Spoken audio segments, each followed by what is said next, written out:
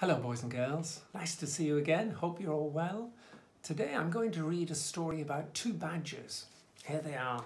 One's called Tic, one's called Tac, and the story's called Laundry Day. And uh, I think they're going to help to hang all the clean washing on the line. The story is by Jessica Bagley, and she also did the pictures. Let's have a look inside. Oh look, here's all the washing pegged out to dry. And this looks like the garden where they play. You can see they've got some books, they've got things to play with, and trees to climb. Laundry day. I'm bored, said Tic. Me too, said Tac. Why don't you two read a book? You love to read, said Ma Badger. We read all our books, said Tic. Then we read them backwards, said Tac. Look, all those clothes, some of them are flying off the top of the pile. Well, how about building a fort? asked Ma Badger. We already made one, said Tic. Then we invaded it and it fell apart, said Tac. What about fishing? asked Ma Badger, tiredly. We caught all the fish in the pond, said Tic. Then we let them go, said Tac.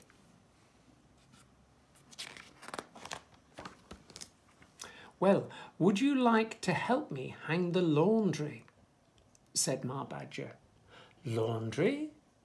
Tic asked, looking surprised. We haven't done that yet, said Tac. Okay, they chimed together. What a good idea. Let me show you how. Take the wet clothes and sheets out of the basket. Don't let them fall on the ground. Then take the clothes pins and clip them on the line, like this. Astig. Very good, said Ma Badger. It's so easy, shouted Tac from the other end of the clothesline. Will you boys finish hanging the laundry for me while I go to the market? asked Ma Badger. Sure, Ma, chirped Tic and Tac. So they were going to be very helpful. Tic and Tac quickly went to work hanging every shirt, sock, sheet and sweater that was in the basket. That was fun, but we're out of laundry already, said Tic. Hmm, I have an idea, said Tac. I wonder what it is. We can hang the winter clothes and blankets, said Tac. Good thinking, said Tic. Once those items were hung, Tic and Tac looked at the line. That's it. We're out of clothes and sheets, said Tic. But we're not out of twine, said Tac with a grin. So they were going to look for something else.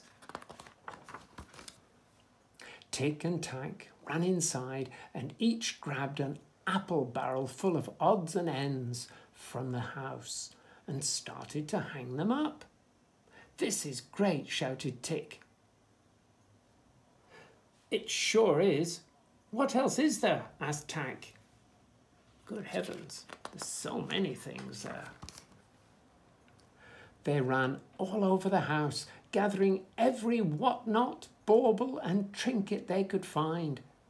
They picked up every knick-knack, this and that, and bric-a-brac in the house. They grabbed buckets and books. They pilfered the pots, pirated pillows. They looted lampshades and even took the toaster. They hung everything they could find that wasn't nailed down.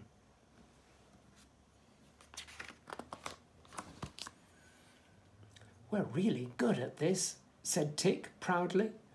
I'm pretty impressed myself, said Tac. Good heavens. Scissors, telephone, chair, so many things. But just then, Ma came home from the market. Now I wonder what Ma's going to say. Look, Tic and Tac, what have you done? she hollered.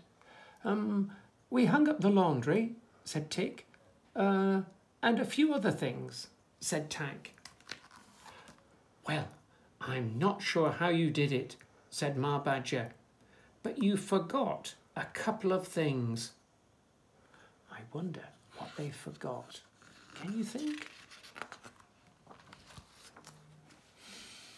Yes, I'm bored, said Tic.